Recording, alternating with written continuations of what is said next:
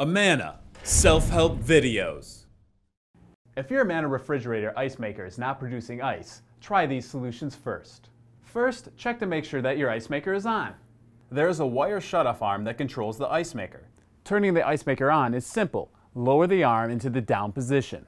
Note, your ice maker has an automatic shutoff. As ice is made, the ice cubes will fill the ice storage bin and the ice cubes will raise the wire shutoff arm to the off or arm up position.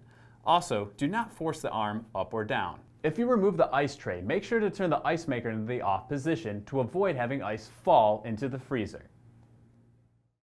Amana self-help videos. Remember, always refer to your use and care guide.